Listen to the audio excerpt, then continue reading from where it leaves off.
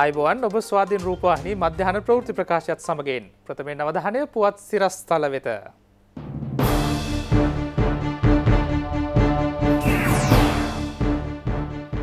Corona මරණ ලැයිස්තුවට ඊයේත් දෙදෙනෙක් එක්වෙද්දී තවත් හත්සිය හැටක් රෝගී ලයිස්තුවට. මහර කැරැල්ලේදී මියගිය එකොළොස් දෙනාම කුඩු නිසා බන්ධනාගාරගත වූවන්. දුබයි කුඩු ජාලයට සම්බන්ධ තුනක් කැලනියේදී පොලිස් දැලේ. ප්‍රථමයෙන් අවධානය දේශය පුවත් වෙත. COVID-19 ආසාධිතයෙන් හත්සිය හැට දෙනෙකු ඊයේ දිනේදී හඳුනාගත් බව COVID-19 පැතිරීම වැලැක්වීමේ ජාතික ක්‍රියාන්විත මධ්‍යස්ථානය ප්‍රකාශ කළා. COVID-19 ආසාධිතයෙන් දෙදෙනෙකු මේ ආමත් සමග කොරුණා මරණ සංඛ්‍යාව එකසිය හතලිස් නවය දක්වා ඉහළ ගොස් තිබෙනවා.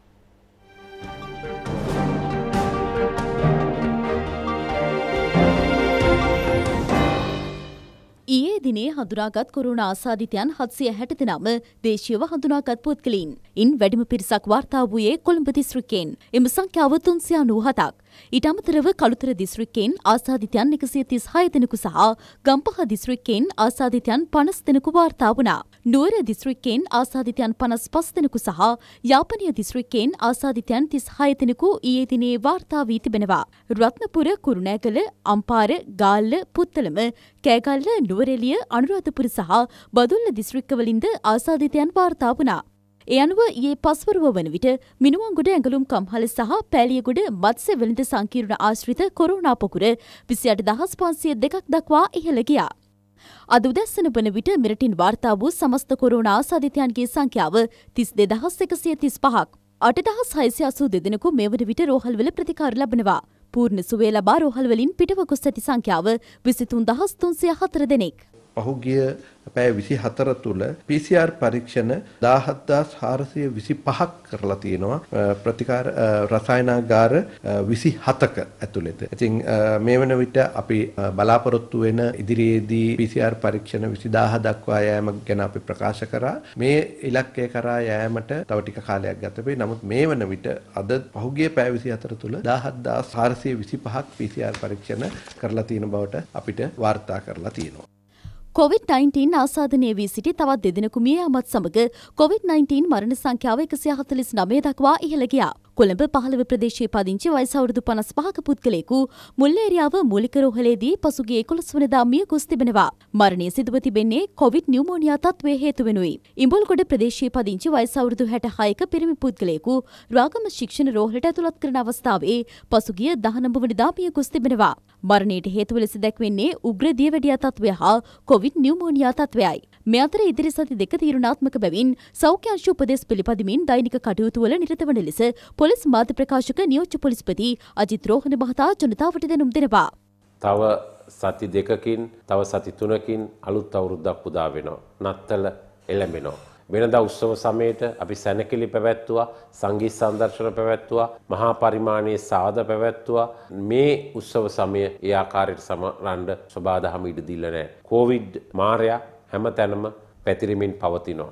ලක්ෂ ගණනින් රෝගීන් බවට පත්වෙනවා. මරණ වාර්තා වෙනවා. ඒ නිසා අපි මෙවර මේ සියල්ල සමරන්න ඕනේ අපේ පවුලේ අයට විතරක් සීමා කරගෙන. ඒ වගේම නිරෝධායන රීතීන් වලට අනුගතව කටයුතු කරලා. තව සති දෙකක් තුනක් අතර කාලය තාම තීරණාත්මක කාලයක් වෙනවා අපිට විතරක් නෙමෙයි ලෝකෙටම ඔස්ට්‍රේලියාවේ සිඩ්නි නුවර සිට හැත්ත පස් දෙනෙකු සහ කටාර් සිට ශ්‍රී ලාංකිකයන් පනස් එක් දෙනෙකු අද උදැස්සන දිවයිනට පැමිණියා. ඔවුන් සියලු දෙනා ගුවන් තොටුපළේදී PCR පරීක්ෂණ වලට ලක් කිරීමෙන් පසු නිරෝධායන මධ්‍යස්ථාන වෙත යොමු කෙරුණා. හැටන් නොවුඩ් ප්‍රදේශයේ පාසලක සිසුවකුට සහ සිසුවියකට COVID-19 ආසාධනය වී ඇති බව භගවන්තලාව මහජන සෞඛ්‍ය පරීක්ෂක කදිරවේල් ගණේශ් මහතා ප්‍රකාශ කළා. ඔවුන් දෙදෙනාගේ ආශ්‍රිතයන් සයන් නිරෝධායනයට යොමු කර ඇති බවයි ඒ මහතා ප්‍රකාශ කළේ. ගුරුවරුන් සහ සිසුන් PCR පරීක්ෂණවලට යොමු කිරීමටද පියවර ගැනුණා. කොරෝනාවට එරෙහිව නිෂ්පාදනය කර ඇති දේශීය ඖෂධ සම්බන්ධයෙන් ශ්‍රී ලංකා රජයේ ආයුර්වේද වෛද්‍ය සංගමය මෙලෙස අදහස් දැක්වුවා. රටේ මේ වෙනකොට විවිධ ඖෂධ සම්බන්ධයෙන් මත සහ අදහස් ප්‍රකාශ වීමත් එක්ක වෙළඳ පොලේ බලාපොරොත්තු නොවන මිල ගණන් වැඩිවීමක් සහ ඖෂධ හිඟවීමක් දකින්න ලැබෙනවා. ඉතින් ඇත්තටම මේක වෙන්නේ මේ අධික ඉල්ලුම නිසා ඉල්ලුමට සරිලන සැපයුම ලබා දීමට නොහැකි වීමෙන්. ඉතින් ඇත්තටම මෙහෙම ඖෂධ පිටුපස දුවන්න එපා. මේ වගේ ඖෂධ ඔබ හිතුමනාපෙට ගන්න යන්න එපා. මාත්‍රාව වෛද්‍ය උපදෙස් අනුව ලබා ගන්න නැත්නම් ඔබට නැති ගැටලු කිහිපයක් එන්න පුළුවන්. විශේෂයෙන්ම සාධික්කවල තියෙනවා ඇල්කලොයිඩ් එක්ස්ට්‍රැක්ෂන් uh, එකක් මේක ඇත්තටම ශරීරයට අධිමාත්‍රාව ඉතා හිතකරයි. ඉතින් ඔබතුමල්ලා කලබල වෙන්න එපා. මේ ඖෂධ සමහරු මම දැක්කා සමාජ මාධ්‍යවල gedara හදාගන්නේ කොහොමද කියලා දාලා තිබුණා. ඉතින් මේ විදිහට මේවා නිසි ක්‍රමවේදයෙන් පරිබාහිරව හදන්න ගිහිල්ලා ඇතිවන ශෞක්‍ය ගැටලු සම්බන්ධයෙන් පැහැදිලිවම වගකීම් ඔබ විසින් බාරගත යුතුයි.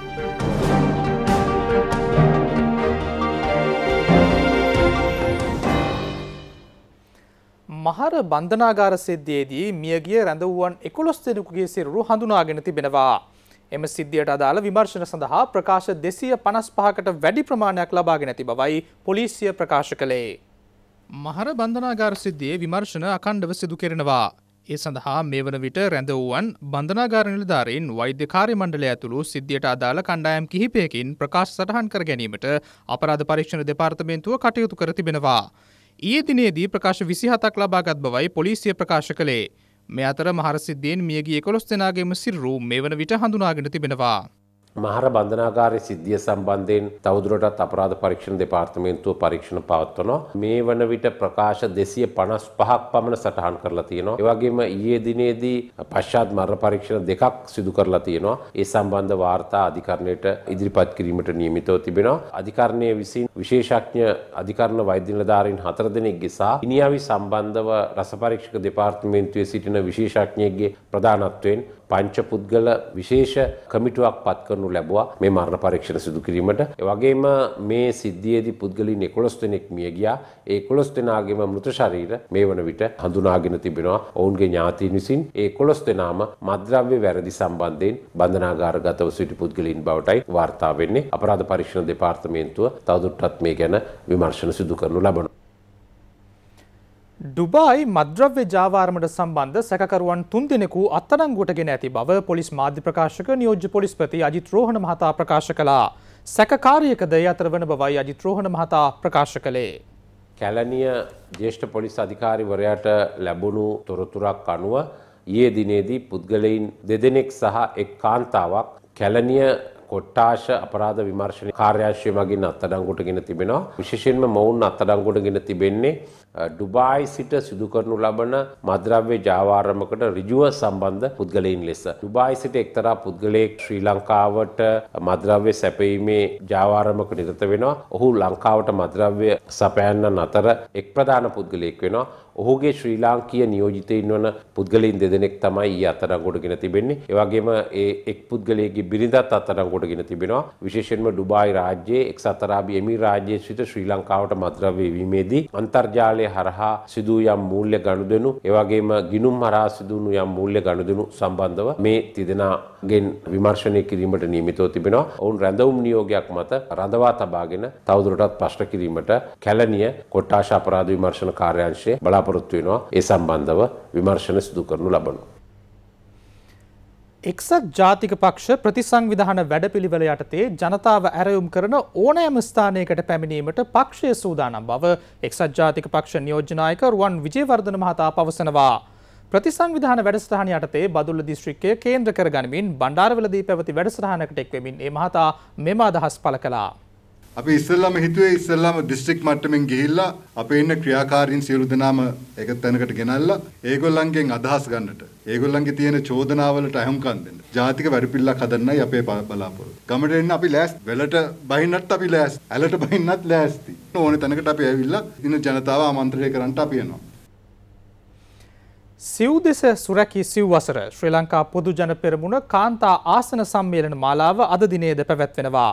සෞඛ්‍ය ආරක්ෂිත ක්‍රමවේදවලට මුල් තැන දෙමින් ඒ පැවැත්වෙන බවයි ශ්‍රී ලංකා පොදු ජන පෙරමුණ පවසන්නේ. දිවයිනේ දිස්ත්‍රික් දහ අටක තෝරාගත් ආසන හැට එකකදී ආසන සම්මේලන පැවැත්වෙනවා. මෙම සම්මේලන පැවැත්වීමට පොදුජන කාන්තා පෙරමුණ පියරගත්තේ ශ්‍රී ලංකා පොදුජන පෙරමුණේ හතරවන පක්ෂ සම්මේලනයට සමගාමීවයි. කොවිඩ් වසංගත තත්ත්වය හේතුවෙන් ශ්‍රී ලංකා පොදුජන පෙරමුණේ සිව්වන සන්මත්තර සැමරුම නියමිත දිනේ නොපැවැත්වීමට පක්ෂ නිර්මාතෘ බැසිල් රාජපක්ෂ මහතා තීරණය කළා. ඒ අනුව පක්ෂයේ අනුබද්ධ සංවිධානවල සම්මේලන පැවැත්වීමද කල් දැමුණා. සෞඛ්‍ය උපදෙස් පරිදි රට තුළ සියලු අංශයන්හි ක්‍රියාකාරීත්වය ක්‍රමානුකූලව සාමාන්‍ය අතට පත්වමින් පවතින බැවින් සෞඛ්‍ය නීති දැඩිව අනුගමනය කරමින් ප්‍රාදේශීය සෞඛ්‍ය ප්‍රධානීන්ගේ උපදෙස් හා අධීක්ෂණයට යටත්ව මෙම සම්මේලන පැවැත්වීමටයි කටයුතු සූදානම් කර ඇත්තේ. ඒ අනුව කළුතර දිස්ත්‍රික්කයේ පානුදුර සහ බේරුවල මානුවර දිස්ත්‍රික්කයේ හාරිස්පත්තුව මාතලේ දිස්ත්‍රික්කයේ දඹුල්ල ලග්ගල රත්තොට නුවරඑළිය දිස්ත්‍රික්කයේ වලපනේ නුවර එළිය කොත්මලේ හංගුරන් කෙත ඇතුළු ආසන රසක සම්මේලන ඊයේ දිනේ පැවැත්වුණා. පත්තිරිප්පුව මැතිවරණ කොට්ටහසේ වනිතා සමුළුව මඩකලපුව පෙරිය පෝරතිවහිදී පැවැත්වුණා. ඒ රාජ්‍ය අමාත්‍ය එස් ව්‍යාලේන්ද්‍රන් මහතාගේ සහභාගිත්වයෙන් වනිතා අංශයේ නායිකා එස් කාන්තරූපී මහත්මිය ඇතුළු පිරිසක්ද එම අවස්ථාවට එක්ව සිටියා. ත්‍රිකුණාමලය සියරුවිල ආසනයේ කාන්තා බලමණ්ඩල රැස්වීම කන්තලේදී පැවැත්වුණා. ඒ කපිල අතුකෝරල මංජුලා දිසානායක සහ ඩයනා ගමගේ යන පාර්ලිමේන්තු මන්ත්‍රීවරුන් සහ මන්ත්‍රීවරයන්ගේ සහභාගිත්වයෙන් ශ්‍රී ලංකා පොදුජන පෙරමුණේ නුවර එළිය කාන්තා බල මණ්ඩල රැස්වීම පැවැත්වුණේ අමාත්‍ය සීබී රත්නායක මහතාගේ සහ ගීතා රත්නායක මහත්මියගේ ප්‍රධානත්වයෙන් මෙම අවස්ථාවට කාන්තාවන් රසක් එක්ව සිටියා. වනසතුන්ගේ හා මහජනතාවගේ ආරක්ෂාව තහවුරු කිරීම සඳහා ස්වාධීන් රූපවාහිනී මාධ්‍ය ජාලය හා නව නිපැම්කරුවන්ගේ කොමිසම එක්ව නව තාක්ෂණයෙන් යුතු අලිවැට ඉදිකිරීම ආරම්භ කර තිබෙනවා. නියම ව්‍යාපෘතිය ලෙස කිලෝමිට්‍ර හතරක දුර ප්‍රමාණයක අලිවට ඉදිකිරීම වැලිකන්ද කන්දකාඩු ප්‍රදේශයේදී ආරම්භ කෙරුණා. මෙම අලිවට සාමාන්‍ය විදුලිවැටට වඩා අඩු වියදමකින් ඉදිකිරීමට හැකිවීම විශේෂත්වයක්. වැඩි විදුලි ධාරිතාවකින්ද එය සමන්විත බවයි නිර්මාණකරුවන් සඳහන් කරන්නේ. වන සම්පත් අමාත්‍යංශයත් එක්ක ඒ වගේම වෘත්ති හා තාක්ෂණ අමාත්‍යංශයත් නව නිපදකරන්ගේ කොමිසම ස්වාධීන රූපවාහිනී සේවයේ මේ ඔක්කොම අල්ලගෙන එකමුතුවකින් අපි පටන් ගත්තා අලි මිනිස් ගැටුම අවම කරන්න නැත්නම් නැති කරන්න මොනවද කරන්න පුළුවන් ක්‍රමවේද කියලා හොයලා බලන. ඒතර ඒක ඇතුලේ අපි නව නිර්මාණ එකතු කර අලින්ටත් අලින්ගේ වාසස්ථාන ආරක්ෂා කරලා දෙන කමක් කෘෂි කර්මාර්ග කර්මාන්තයට යොමු වෙලා තියෙන ප්‍රදේශ ආරක්ෂා කිරීමේ ක්‍රමවේද අපි බලාපොරොත්තු වෙන ඉතාමත්ම කෙටි කාලයකදී අපි ඔක්කොම එකතු වෙලා අලි මිනිස් ගැටුමට පූර්ණ කාලීන තිතක් තියන්න. ඉතින් ඒකේ ආරම්භයක් තමයි අද අපි මේ ඉස්සරහා දකින්නේ. නව නිපයුම් විදියට හඳුනාගත්ත ඉතාම අඩු මුදලකින් අලි වැටක් නිර්මාණය කිරීමේ වගේම සාර්ථක වැඩපිළිවෙලක් විදියට මේ පරීක්ෂණාත්මකව කටයුතු කරලා මේ තියෙන වැටවල් වලට වැඩිය සාර්ථක වැඩපිළිවෙලක් විදියට අපේම නිෂ්පාදන ඉතාම අඩු වියදමකින් ඉතා හොඳ ප්‍රතිඵලදායී විදියට තමයි නිර්මාණය කරලා තියෙන්නේ. ශ්‍රී ලංකා යුද හමුදාව මහවැලි සංවර්ධන අධිකාරිය මෙන්ම වන සංරක්ෂණ දෙපාර්තමේන්තුවද මෙම වැඩපිළිවෙල සඳහා සහයෝගය දක්වා තිබෙනවා. ගම්වතින වනාලීන් නිසා වැඩිම මිනිස් ජීවිත සංඛ්‍යාවක් අහිමි වන ලොව දෙවන රට බවට පත්වැත්තේද ශ්‍රී ලංකාවයි. සෞභාගිය දැක්ම ප්‍රතිපත්ති ප්‍රකාශයට අනුව ඉඩම් කළමනාකරණය වෙනුවෙන් සුවිශේෂී වැඩසටහන් රැසක් ක්‍රියාත්මක කර ඇති බව රාජ්‍ය අමාත්‍ය රොෂාන් රණසිංහ මහතා පවසනවා. ගාල්ල දිස්ත්‍රික් සංවර්ධන කමිටු රැස්වීමට එක්වෙමින්නේ මහතා මේ බව කියා සිටියා. ග්‍රාමීය ආර්ථිකය නගා සිටුවීමේ ජාතික වැඩසටහනේ ගාල දිස්ත්‍රික් සංවර්ධන කමිටු රැස්වීම පැවැත්වුණේ මැති ඇමතිවරුන් රසකගේ සහභාගීත්වයෙන් කෘෂිකර්මාන්තය සංචාරක ප්‍රවාහන හා ඉඩම් සමුෘද්ධි ආදී අංශ රසක් සම්බන්ධයෙන් මිදි සාකච්ඡා කෙරුණා. ප්‍රධාන ගැටලුවක් බවට පත්ව ඇති ඉඩම් මිනුම් කටයුතු කඩනම් කිරීමටද මිදි තීරණය කෙරුණා. මේ රටේ ඉඩම් කොටස් තියෙනවා මිලියන 12 කෝටි 120. මේ ඉඩම් ටික මැනගන්න අපි හරියට කිව්වොත් අවුරුදු 45ක් යනවා. මිනින්දෝරුවන් ඉද එළියට දාන ආයතනයක් තිබ්බා ඒකත් වහලා දාලා දැන් එළියට එන මිනින්දෝරු ප්‍රමාණයත් සීමිත වෙලා. මේ ආයතනය නැවත ආරම්භ කරන්න අපි කටයුතු කරන්න ක්‍රියා කරන්න තමයි ඊළඟ සැලසුම හදලා තියෙන්නේ. යහපාලන ආණ්ඩුව බිම්සවිය වැඩසටහන සම්පූර්ණ අකර්මණ්‍ය කරලා තියෙනවා. ඒ නිසා නැවත දැන් බිම්සවිය පණ ගන්නලා මේ වතාවේ මිනින්දෝරුව 100 200ක් කළා ඊට අමතරව පෞද්ගලික මිනින්දෝරුව දාලා මැන ගන්නත් මුදලු වෙන් කරන්න කටයුතු කරන්න බලාපොරොත්තු වෙනවා. අපවත් වී වදාළ පූජ්‍ය ගංගොඩවිල සෝම ස්වාමින් වහන්සේගේ දාහත් වන ගුණානුස්මරණය සහ සඟසතු දානමය පින්කම මහරගම සිරි වජරඥාන ධර්මායතනයේදී පැවැත්වුණා. ඇමරිකාවේ වොෂින්ටන් බෞද්ධ විහාරයේ විහාරාධිපති උතුරු ඇමරිකාවේ ප්‍රධාන සංගනායක පූජ්‍ය මහරගම ධම්මසිරි නායක ස්වාමින් වහන්සේගේ අනුශාසනා පරිදි මෙම වැඩසටහන සංවිධාන කෙරුණේ. ශාසන සේවක සමිතිය තරුණ සීල සමාධානය හා ජනවිජය පදනමද ගුණානුස්මරණය සහ පින්කම් සංවිධානය කිරීම සඳහා සහයෝගය දැක්වූවා. අපවත් වී වදාළ පූජ්‍ය ගංගොඩවිල සෝම ස්වාමින් වහන්සේ පිළිබඳ ගුණානුස්මරණ දේශනය සිදු කළේ මහාචාර්ය පූජ්‍ය අගලකඩ සිරිසුමන ස්වාමින් වහන්සේයි. සෞඛ්‍ය මාර්ගෝපදේශවලට අනුකූලව වැඩසටහන සංවිධාන කර තිබුණා. පූජ්‍ය ගංගොඩවිල සෝමස්වාමින් වහන්සේ අනුස්මරණය කිරීමේ වැඩසටහනක් වික්ටෝරයා නිවාසේදීද පැවැත්වුණා. රාජකීය පණ්ඩිත පූජ්‍ය රජවැල්ලේ සුභූති ස්වාමින් වහන්සේගේ අනුශාසකත්වයෙනුයි මෙම වැඩසටහන සංවිධාන කෙරුණේ. COVID-19 හේතුවෙන් අසරණ භාවයට පත්ව සිටින පවුල් සඳහා වියලි ආහාරද්‍රව්‍ය ප්‍රදානය කිරීමක්ද සිදු කෙරුණා. ඇමරිකා එක්සත් ජනපදයේ ධර්ම ඩ්‍රම් මවුන්ටන් ඇසෝසියේෂන් සංගමේ දායකත්වයද මේ සඳහා හිමි වුණා. ඕස්ට්‍රේලියාවේ සිඩ්නි නුවර රෝහල් සේවා මණ්ඩලයේ සමාජිකයින් පිරිසක් එවා තිබූ ස්වයංක්‍රීය රෝදපුටු දෙකක්ද වික්ටෝරියා නිවාසය වෙනුවෙන් පිරිනැමුණා. ඊට අමතරව තවත් රෝදපුටු 10ක් කොළඹ දිස්ත්‍රික්කයේ පූර්ණ ආබාධිතත්වයෙන් පසුවන පුද්ගලයන් වෙනුවෙන් පරිත්‍යාග කෙරුණා. ඒ සමගින් ස්වාධීන රූපවාහිනී මධ්‍යන ප්‍රවෘත්ති ප්‍රකාශය මෙතකින් නිමාවට පත්වෙනවා. යලි තමයමු පැයෙන් පැය පුවත් සමගින්. සුබ දවසක්. Thank you.